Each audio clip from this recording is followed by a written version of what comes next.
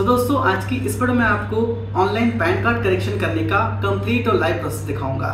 इस वीडियो की मदद से आप अपने पैन कार्ड में name father name date of birth signature और फ़ोटो को ऑनलाइन अपडेट चेंज या करेक्शन घर बैठे ही कर पाएँगे। इसके लिए आपको कहीं भी जाने की ज़रूरत नहीं पड़ेगी। सो चलिए शुरू करते हैं। इसके लिए आपको एन के इस पेज पर आना है। वीडियो के डिस्क्रिप्शन में आपको इस पेज का डायरेक्ट लिंक मिल जाएगा। एप्लीकेशन टाइप पर क्लिक करेंगे। यहाँ पर आपको चेंजेस और correction in existing PAN data को सिलेक्ट करना है। कैटेगरी में क्लिक करेंगे। यहाँ पे आप इंडिविजुअल सिलेक्ट करेंगे। टाइटल पर क्लिक करेंगे। यहाँ पर अगर आप पुरुष के लिए पैन कार्ड करेक्शन करने जा रहे हैं तो श्री सिलेक्ट करेंगे। महिला के लिए करने जा रहे हैं तो एस या कुमारी सेलेक्ट करेंगे। फिर यहाँ पर आप सेम उसी स्पेलिंग के साथ अपना नाम लिखेंगे, जिस स्पेलिंग के साथ आपका नाम आपके आधार कार्ड पर लिखा है, क्योंकि जो आपके आधार कार्ड पर नाम होगा सेम वही नाम आपके पैन कार्ड पर करेक्शन होकर आ जाएगा। अगर आपका नाम राहुल कुमार यादव है तो फ़र्स्ट नेम में लिखेंगे राहुल मिडिल नेम में लिखेंगे कुमार, और लास्ट नेम यानी कि सर नेम में लिखेंगे यादव। अगर सिर्फ़ राहुल कुमार है तो फ़र्स्ट नेम में लिखेंगे राहुल, और मिडिल नेम को छोड़ देंगे लास्ट नेम में लिखेंगे कुमार। अगर आपका नाम सिर्फ़ राहुल आधार कार्ड में है तो यहाँ पर सिर्फ़ आप सर नेम यानी कि लास्ट नेम में लिखेंगे राहुल फ़र्स्ट नेम और मिडिल नेम को छोड़ देंगे। अब यहाँ पर सेम उसी डेट ऑफ़ बर्थ को एंटर करेंगे, जैसा डेट ऑफ़ बर्थ आपके आधार कार्ड पर लिखा है,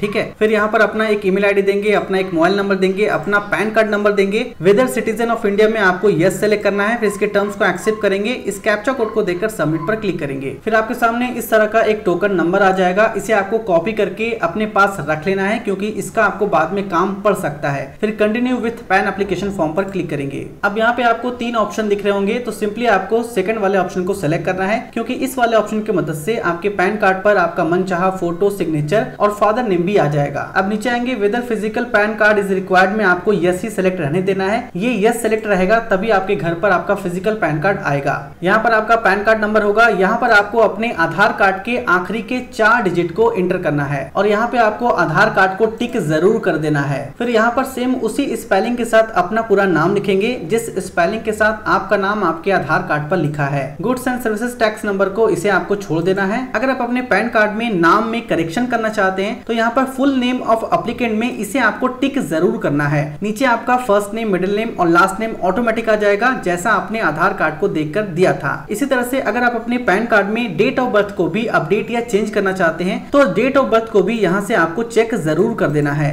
जैसा डेट ऑफ़ बर्थ आपके आधार कार्ड पर होगा सेम वही डेट ऑफ़ बर्थ आपके पैन कार्ड पर भी आ जाएगा। यहाँ पे जेंडर को सिलेक्ट करेंगे सिलेक्ट पर क्लिक करके अपना जेंडर सिलेक्ट करेंगे। इसे आपको सेम यही रहने देना है, इसमें कोई भी छेड़छाड़ नहीं करना है। नीचे आएँगे यहाँ पर आप अपने फादर नेम का फ़र्स्ट नेम मिडिल नेम और लास्ट नेम को एंटर करेंगे। सेम उसी स्पेलिंग के साथ अपना फादर नेम यहाँ पर आपको टाइप करना है, जैसा फादर नेम आपके आधार कार्ड के पीछे लिखा है। सेम उसी तरह से यहाँ पे टाइप करेंगे, अगर आपके फादर का नाम है राहुल कुमार तो फ़र्स्ट नेम में लिखेंगे राहुल मिडिल नेम को छोड़ देंगे और लास्ट नेम में लिखेंगे कुमार। अगर सिर्फ़ राहुल है तो फ़र्स्ट नेम और मिडिल नेम को छोड़ देंगे लास्ट नेम में लिखेंगे सिर्फ़ राहुल। मदर नेम यहाँ पर देना ज़रूरी नहीं है, इसे आप छोड़ सकते हैं और नीचे आपको फादर नेम ही सिलेक्ट रहने देना है, फिर नेक्स्ट पर क्लिक करेंगे। अब एड्रेस फॉर कम्युनिकेशन में यहाँ पर रेसिडेंट सेलेक्ट करेंगे। फिर जैसा एड्रेस आपके आधार कार्ड के पीछे लिखा है सेम उसी एड्रेस को यहाँ पर आपको बारी बारी से टाइप करना है। कंट्री नेम पर क्लिक करेंगे, यहाँ से आपको इंडिया टाइप करना है। आई टाइप करेंगे तो इंडिया आएगा इंडिया को सेलेक्ट करेंगे। फिर यहाँ से आप अपने स्टेट नेम को सेलेक्ट करेंगे। फिर यहाँ पर अपना पिन कोड देंगे जिप कोड को छोड़ देंगे। अगर आप अपने पैन कार्ड में एड्रेस मोबाइल नंबर और ईमेल आईडी को भी अपडेट या चेंज करना चाहते हैं तो इसे आपको यहाँ से ज़रूर चेक कर लेना है। अगर आप चेक करेंगे तो यहाँ पर आपको वो एड्रेस देना होगा, जो एड्रेस आप अपने पैन कार्ड में अपडेट या चेंज करना चाहते हैं। अगर आप एड्रेस को अपडेट या चेंज नहीं करना चाहते हैं तो इसे आप अनचेक करेंगे। सिर्फ़ मोबाइल नंबर और ईमेल आईडी को अपडेट करना है तो इसे आप यहाँ से चेक करेंगे और यहाँ पर आपका मोबाइल नंबर और ईमेल आईडी ऑटोमेटिक आ जाएगा। सेलेक्ट पर क्लिक करेंगे, यहाँ से आपको इंडिया सेलेक्ट करना है। आई टाइप करेंगे तो इंडिया आएगा, इसे आप सेलेक्ट कर लेंगे। नीचे आपसे पूछा जा रहा है, अगर आपके पास एक से ज़्यादा पैन कार्ड नंबर है तो उसे आप यहाँ पर दे सकते हैं। नहीं तो आप इसे सिंपली छोड़ देंगे, नेक्स्ट पर क्लिक करेंगे। अब यहाँ पर आपको proof of identity proof of address और proof of date of birth upload करना है। आप चाहे तो प्रूफ ऑफ़ पैन यहाँ पर अपलोड कर सकते हैं, या आप चाहें तो सेलेक्ट पर क्लिक करके अगर आप नो डॉक्यूमेंट को सेलेक्ट कर लेंगे तो यहाँ पर आपको कोई भी डॉक्यूमेंट अपलोड करने की ज़रूरत नहीं पड़ेगी। तो आप चाहें तो यहाँ पर proof of identity proof of address और proof of date of birth में सिर्फ़ आधार कार्ड भी अपलोड कर सकते हैं। इसके लिए आपको सेलेक्ट पर क्लिक करना है, नीचे आएँगे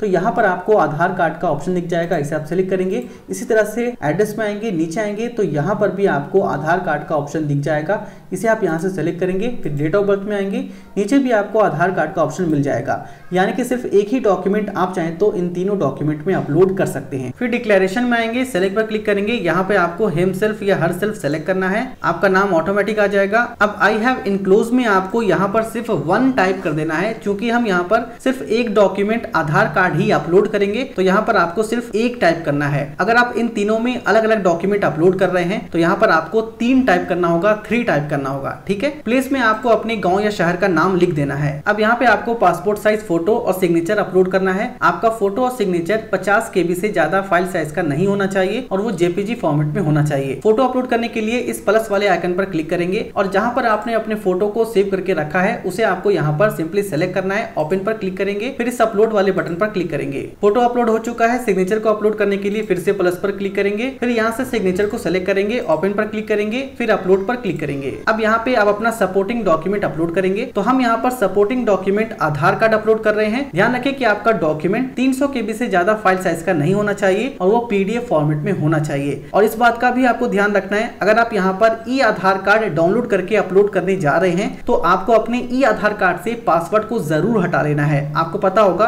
कि जब आप अपना आधार कार्ड डाउनलोड करते हैं तो उसमें पासवर्ड लगा होता है। तो सबसे पहले पासवर्ड को हटा लें। पासवर्ड को कैसे हटाते हैं, इस पर मैंने वीडियो बना रखा है। तो डॉक्यूमेंट को अपलोड करने के लिए प्लस वाले आइकन पर क्लिक करेंगे और जहाँ पर आपने अपने डॉक्यूमेंट को सेव करके रखा है, उसे आप यहाँ से सेलेक्ट करेंगे। फिर ओपन करेंगे, फिर अपलोड पर क्लिक करेंगे। फ़ोटो सिग्नेचर और डॉक्यूमेंट अपलोड करने के बाद सबमिट पर क्लिक करेंगे। आपका एप्लीकेशन सबमिट हो चुका है। अपने डिटेल को यहाँ पर एक बार चेक करके उसे वेरीफाई करेंगे। सबसे पहले यहाँ पर आपको अपने आधार कार्ड के शुरुआत के आठ डिजिट को एंटर करना है। फिर नीचे स्क्रॉल करके एक बार आप अपने सभी डिटेल को यहाँ से चेक करेंगे।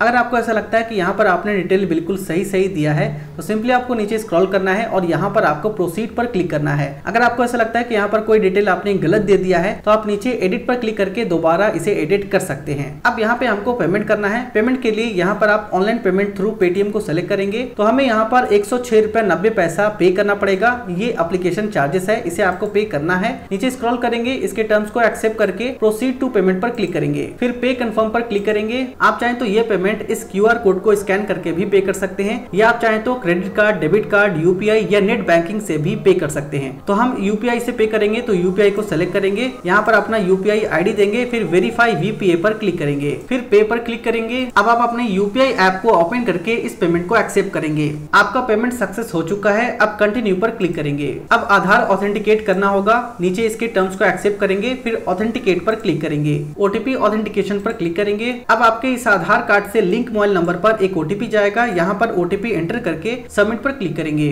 अब कंटिन्यू विथ ई साइन पर क्लिक करेंगे। कुछ सेकेंड वेट करेंगे। फिर ये आपको एनएसटीएल के ई साइन के पेज पर ले जाएगा। इसके टर्म्स को यहाँ से एक्सेप्ट करेंगे। फिर अपना आधार कार्ड नंबर देंगे। फिर सेंड ओटीपी पर क्लिक करेंगे। आपके इस आधार कार्ड से लिंक मोबाइल नंबर पर ओटीपी जाएगा। यहाँ पर ओटीपी देकर वेरीफाई ओटीपी पर क्लिक करेंगे। आपका एप्लीकेशन सक्सेसफुली सबमिट हो चुका है। चूँकि हमने यहाँ पर ई साइन और ई केवाईसी कर दिया है, इसीलिए आपको कोई भी डॉक्यूमेंट कहीं भी भेजने की ज़रूरत नहीं है। आपका काम खत्म हो चुका है। अब अपने एप्लीकेशन के स्टेटस को चेक करने के लिए आपको एप्लीकेशन रेफरेंस नंबर की ज़रूरत पड़ेगी या एक्नोलॉजमेंट नंबर की ज़रूरत पड़ेगी। इसके लिए आपको यहाँ पर डाउनलोड पीडीएफ पर क्लिक करना है। पीडीएफ डाउनलोड करने के बाद उसे ओपन करेंगे। पीडीएफ को ओपन करने के लिए यहाँ पर आपसे पासवर्ड मांगा जाएगा। तो यहाँ पर आपका पासवर्ड आपका डेट ऑफ़ बर्थ होता है। फॉर एग्ज़ाम्पल अगर आपका डेट ऑफ़ बर्थ 25 मार्च 2002 है तो यहाँ पर आपको टाइप करना है two five zero three two double zero two ठीक है? इस पीडीएफ में ऊपर में आपको एक एक्नोलॉजमेंट नंबर मिलेगा। सिंपली इसे आपको स्क्रीनशॉट करके या कॉपी करके अपने पास रख लेना है। इसी से आप अपने इस एप्लीकेशन का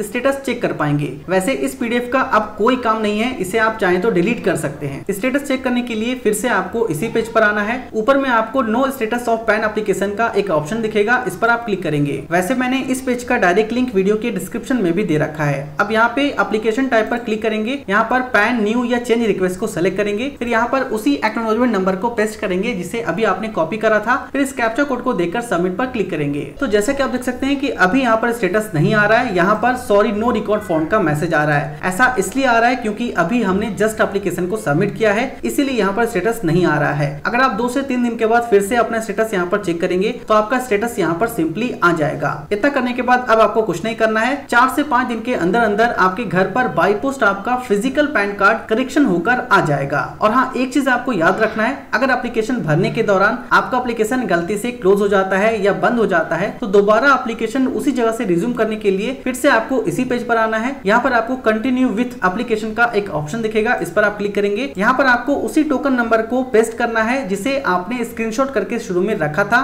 जिसे मैंने आपको सेव करने के लिए बोला था। फिर अपना ईमेल आईडी देंगे, अपना डेट ऑफ़ बर्थ देंगे। इस कैप्चा कोड को देते ही जैसे आप सबमिट पर क्लिक करेंगे, आपका एप्लीकेशन दोबारा उसी जगह से रिज्यूम हो जाएगा जहाँ से वो बंद हो गया था। इतना करने के बाद अब आपको कुछ नहीं करना है, बस आपको एक हफ़्ता वेट करना है। एक हफ़्ते के अंदर अंदर बाई पोस्ट आपके घर पर आपका फ़िज़िकल पैन कार्ड करेक्शन होकर आ जाएगा।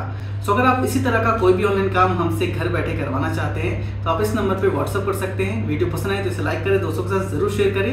नेक्स्ट वीडियो आप किस टॉपिक में चाहते हैं, नीचे कमेंट करके ज़रूर बताएँ।